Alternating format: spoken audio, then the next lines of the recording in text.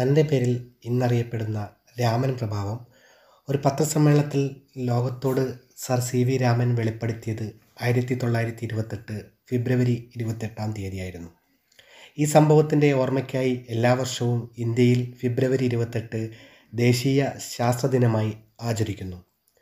ഓരോ വർഷവും ഓരോ വിഷയത്തിൽ ഊന്നിയാണ് പരിപാടികൾ സംഘടിപ്പിക്കുന്നത്. രണ്ടായിരത്തി ഇരുപത്തൊന്നിലെ വിഷയം ശാസ്ത്രം സാങ്കേതികവിദ്യ നൂതനാശയങ്ങൾ മുതലായവയുടെ ഭാവി വിദ്യാഭ്യാസം നൈപുണികൾ തൊഴിൽ എന്നിവയിലെ സ്വാധീനം എന്നതാണ്. ശാസ്ത്രബോധം ജനതയുടെ സാമാന്യബോധമാക്കി മാറ്റുന്നതിനായി ഇത്തരം ദിനാചരണങ്ങൾ രാജ്യത്ത് വ്യാപകമായി നടത്തേണ്ടതുണ്ട്.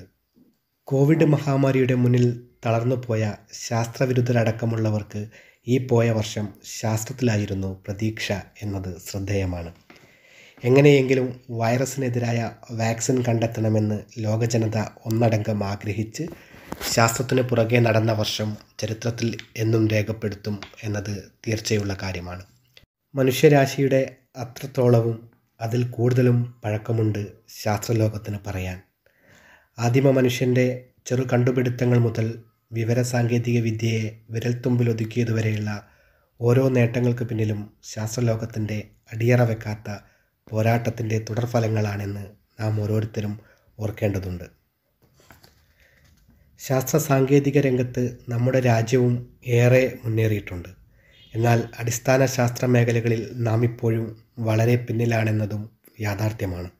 ശാസ്ത്രാഭിമുഖ്യമുള്ള ചുരുങ്ങിയത് പുതിയ ചിന്തകളോട് സഹിഷ്ണുതയുള്ള ഒരു സമൂഹത്തിലെ ശാസ്ത്രം വളരും. കുഞ്ഞുനാളിലെ അന്ധവിശ്വാസങ്ങൾ പകർന്നു നൽകുന്നതിനെ ചോദ്യം ചെയ്യുന്നത് ഇഷ്ടപ്പെടാത്ത ഒരു സമൂഹത്തിൽ ഒരിക്കലും ശാസ്ത്രബോധമുള്ള തലമുറയെ വളർത്തിയെടുക്കാൻ കഴിയില്ല. ശാസ്ത്ര സ്ഥാപനങ്ങൾക്കു തറക്കല്ലിടുമ്പോൾ പോലും ഭൂമി പൂജ നടത്തുകയും റോക്കറ്റ് വിക്ഷേപിക്കുമ്പോൾ റോക്കറ്റ് മാതൃക ഇഷ്ടദേവന് സമർപ്പിച്ച് അനുഗ്രഹം തേടുകയും ചെയ്യുന്ന ശാസ്ത്രജ്ഞർ ശാസ്ത്രത്തെ നയിക്കുന്ന കാഴ്ചയാണ് ഇന്ന് നാം കണ്ടുകൊണ്ടിരിക്കുന്നത്. മാത്രമല്ല കെട്ടുകഥകളെ ശാസ്ത്രസത്യങ്ങളായും ചരിത്ര സത്യങ്ങളുമായി അവതരിപ്പിക്കുവാൻ ഭരണാധികാരികൾ വെമ്പൽ കൊള്ളുന്ന കാലഘട്ടത്തിലൂടെയാണ് നാം മുന്നേറിക്കൊണ്ടിരിക്കുന്നത്. ചുറ്റുപാടിനെ മനസ്സിലാക്കാനും തനിക്കനുകൂലമായി മാറ്റിത്തീർക്കാനും മനുഷ്യവംശം വികസിപ്പിച്ചെടുത്ത സവിശേഷമായ ഒരു രീതിയെയും അതിലൂടെ ആർജിച്ച അറിവിന്റെ ആകെ തുകയുമാണ് ശാസ്ത്രം എന്നതുകൊണ്ട് മനസ്സിലാക്കേണ്ടത്. അതായത് കുറേ അറിവിന്റെ ശേഖരം മാത്രമല്ല മനസ്സിലാക്കുകയും ചിന്തിക്കുകയും ചെയ്യുന്ന രീതി കൂടിയാണ് ശാസ്ത്രം.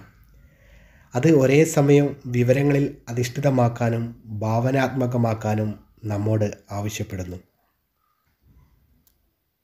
എല്ലാതരം വിവരങ്ങളെയും അവസാനം വെച്ചു പുലർത്തുന്ന മുൻധാരണകളെ ചോദ്യം ചെയ്യുന്നതാണെങ്കിൽ കൂടി പരിഗണിക്കാൻ ശാസ്ത്രം തയ്യാറാകുന്നു. പുതിയ ആശയങ്ങളെ തുറന്ന മനസ്സോടുകൂടി സ്വീകരിക്കുവാനും തെറ്റെന്നു തെളിഞ്ഞിട്ടുള്ള കാര്യങ്ങളെ നിഷ്കരണം ത്യജിക്കാനും ശാസ്ത്രം നമ്മോട് ആവശ്യപ്പെടുന്നു. എല്ലാതരം വിമർശനങ്ങളെയും സ്വാഗതം ചെയ്യാനും കണ്ടെത്തിയ കാര്യങ്ങളെ വീണ്ടും വീണ്ടും പരിശോധനയ്ക്ക് വിധേയമാക്കാനുമുള്ള കഴിവാണ് ശാസ്ത്രത്തിന്റെ മുഖ്യ സവിശേഷത. നിരന്തരം കൂടുതൽ മെച്ചപ്പെട്ട അറിവിലേക്ക് അതിനാൽ ശാസ്ത്രവിജ്ഞാനങ്ങൾ നയിക്കപ്പെടുന്നു.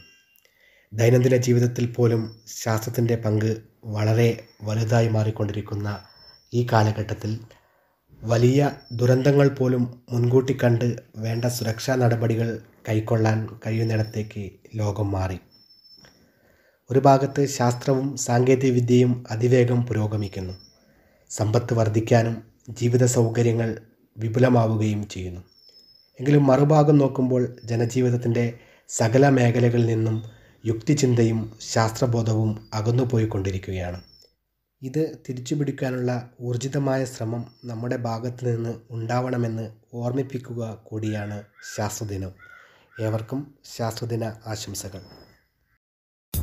ഞങ്ങളുടെ സ്കൂളിലെ യൂട്യൂബ് ചാനൽ റിതം വിഷൻ നിങ്ങൾക്ക് ഇഷ്ടപ്പെട്ടെങ്കിൽ ലൈക്ക് ചെയ്യാനും ഷെയർ ചെയ്യാനും സബ്സ്ക്രൈബ് ചെയ്യാനും മറക്കരുത്.